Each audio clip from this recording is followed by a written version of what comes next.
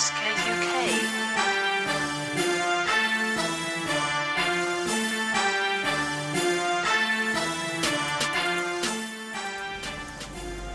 Hey guys, I'm back today with um, my slash 4x4 um, desert truck project. Um, now today this isn't going to be a update video as such. um, this is going to be more of a product overview video. Um, basically, a couple of updates ago on the slash 4x4 I said that I wanted to change the old VXL system out in it as it was a uh, three-year-old system, I believe. Now I did sell it on um, at a very heavily discounted price. Before anyone says oh, I sold on a Delgy system, it was heavily discounted. I sold it off for, but um, basically um, I changed the system out and I wanted to show off what I've got. So the first off the motor, let's start off with that. I bought the Hobbywing Quicrun 3656 four pole, four pole brushless motor as you can see there and it's 3800 kV rating. Now um, this is a uh, very capable uh, motor, motor being four pole um, which means plenty of torque um, and uh, so far, it seems to be giving pretty decent performance for the price. Now, um, where I live in the UK, uh, I had to order this overseas when I actually did buy this. So I spent overall £30 including postage and packaging to get it from Hong Kong, I believe, to England. So not too bad um, considering. Now, sorry guys. As for the ESC, now that um, this Quicrun motor, sorry, uh, this Quicrun motor does come with a uh, has a option available to come in a combo, which includes. Um, the Hobbywing Quicrun 60 amp ESC. Now, not that the 60 amp isn't enough for this truck, I just wanted a ESC that could give me more options down the line if I wanted to put in a more powerful motor. So, the ESC I went for, um, also very well known uh, ESC, is the Hobbywing EzRun SC8, which is of course 120 amp capable. Um, as you can see, it's suitable for 110 to 1/8 scale cars. Um, this ESC is um, being put into quite a lot of ready to runs these days that are particularly 8 scale, um, which just goes to show you how um, capable this ESC actually is. Um, just quick show you around the box, as you can see there. Um, so this one I actually got from Model Sport UK, the motor I got from Hong Kong, as I said. Um, links and stuff will be in the description down below. I do believe Model Sport is actually going to start stocking this motor very soon. So both of these from Motorsport, um, you get great customer service from there, and of course two very capable products. Um, so I yeah, of course I did go with Hobbywing. I didn't do an unboxing video of either of these items because there's no, you, there's nothing to show you really. The motor's in there in a plastic box, as I will show you. It's just in there, just goes in there. That's all there is. And the ESC just came in a sort of plastic sort of casing. In there at the moment, I've got my programming card just so I know where it is, but it doesn't. There's nothing really to show you as an unboxing. So that's the motor and ESC I've gone for. So now let's actually pop open the shell and I'll show you how I've actually put it in. And there you go, guys. That's the slash 4x4. Um, oh, sorry. Um, so let's start from front and work our way back.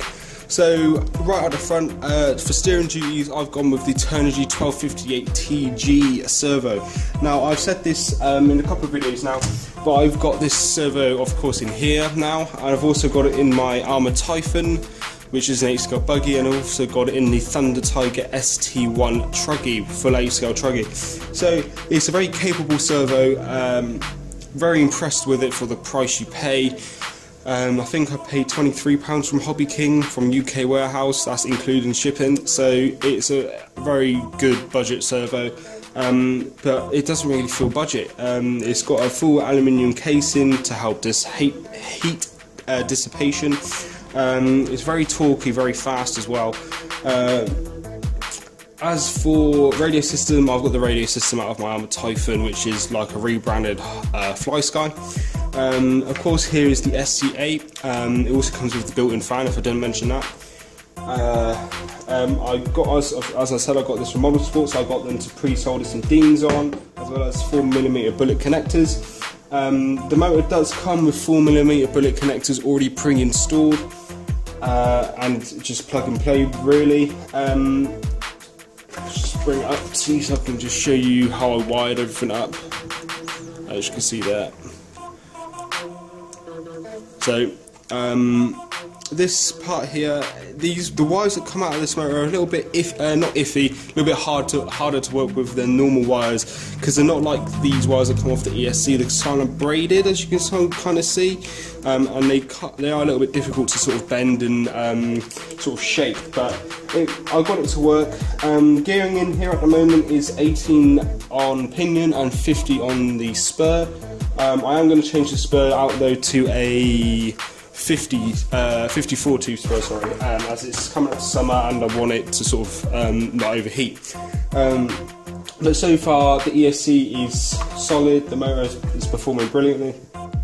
Servo I've tried and tested in multiple cars, seems to work perfectly fine. Um, just to show you how fast this um, servo is and show you all working, here's the radio system, so just flip that on. Plug in the battery. If I don't mention, I'm using a 2S um, battery for this setup because I just think it's um, more than enough. Turn it on.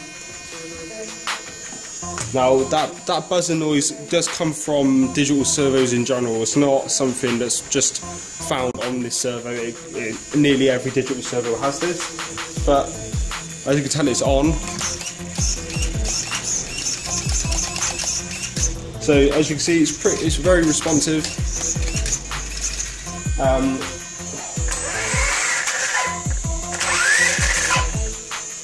um, so that just quick show um, working and, also show off the servo's um, specs and performance.